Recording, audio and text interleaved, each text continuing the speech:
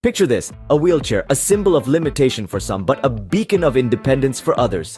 Now imagine the unthinkable. A wheelchair user standing tall, trading wheels for a walker. Meet the heroes who defy expectations every day, demonstrating that limitations are only as real as we allow them to be.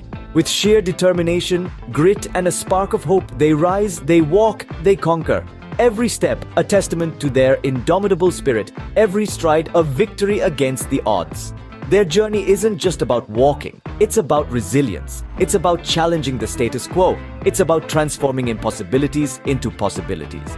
Join us in celebrating these extraordinary individuals who remind us that strength isn't measured by physical ability alone, but by the courage to keep going when the going gets tough.